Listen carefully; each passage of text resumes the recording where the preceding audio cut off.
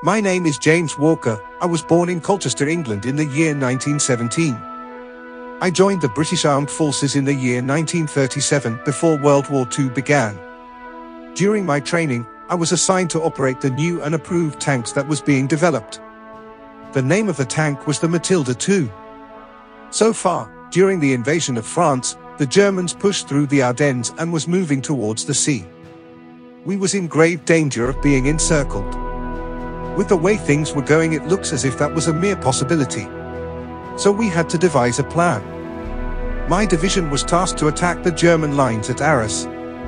However earlier in the day, the battle was not going in our favor and the Germans were attempting to counterattack us. We would have to stand firm and fight. And a fight, we put up that day.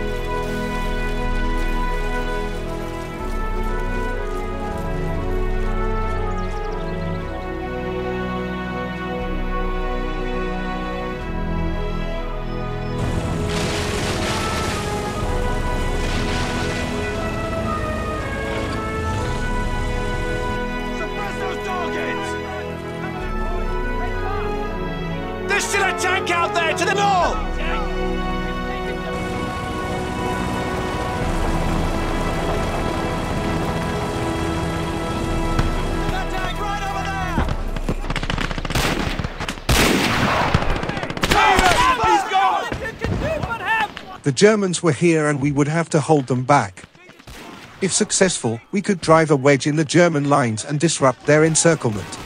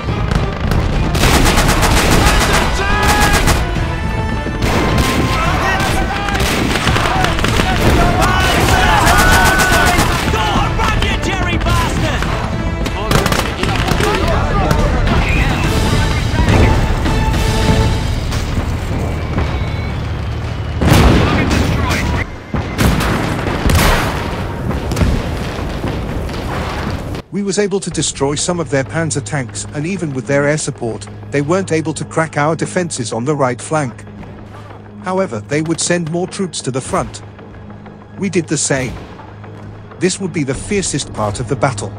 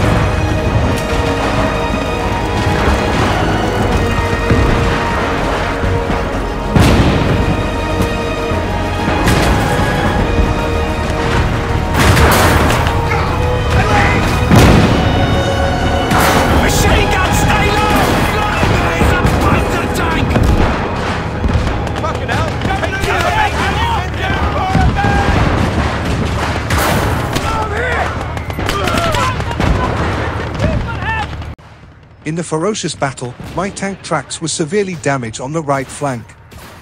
However the lads had my back as we defended the flank with all we had left.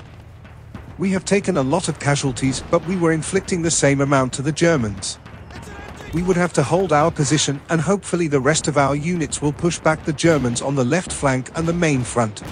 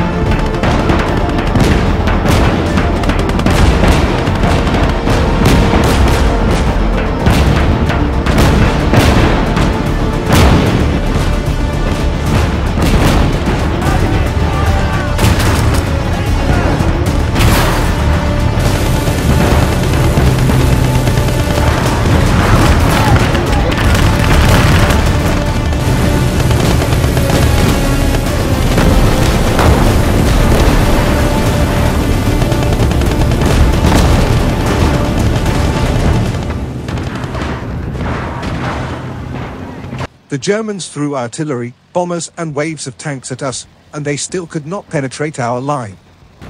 My tank has taken a few hits but was still going strong as our right flank was holding up. It has become somewhat of a stalemate. Their left flank however was lightly defended and our troops will soon attempt to push that flank. But in order to do this our main front must hold the Germans back at all cost.